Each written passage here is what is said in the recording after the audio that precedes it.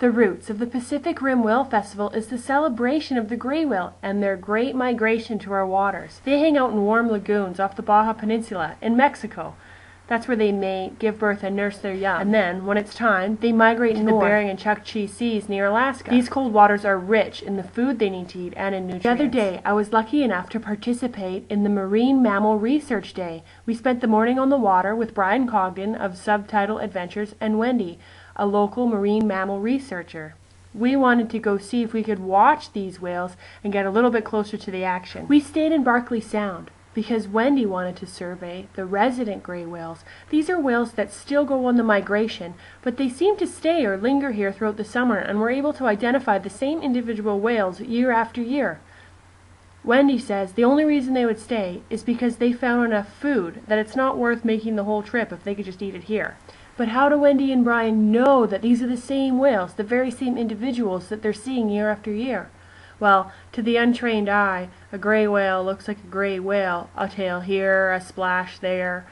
But to experts like Brian and Wendy, they know how to identify them with photos. It's called photo identification or photo ID. What they do is they take pictures of these whales, of their backs and their tails, with incredible zoom lenses. Then they're able to see any scratches, white splotches, any scars the whales might have, distinct barnacle clusters, or little ridges or dorsal knuckles on their backs. Each profile is different.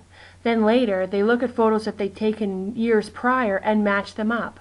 Wendy said that when you identify whales by photo ID, you have to match it up in at least three different places. So you have to match up one big white scar, a barnacle cluster, and maybe the profile of the dorsal knuckles. Once you've found three spots, then you know it's the same whale.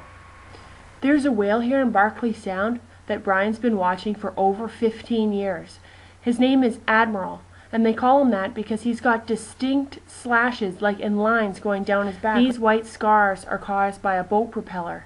And Admiral's been here feeding for many years, and Brian's always happy when he sees him. So what are these whales eating? "The little shrimp-like creatures like mysids, amphipods, and porcelain crab larvae. Wendy says sometimes the whales know that they're deep in the sand and the sediment, these little buggy larvae, so what they'll do is they'll actually take giant bites out of the ocean floor, out of the sediment. Then they sift the dirt and crud and rocks out of their baleen and eat the food. Wendy said it's really cool at low tide because sometimes you could see these giant bite marks taken out of the bottom. Gray whales are listed as special concern under the Species at Risk Act. Although their numbers continue to increase every year, it's still our job to research, learn more about these majestic creatures, and continue to protect them.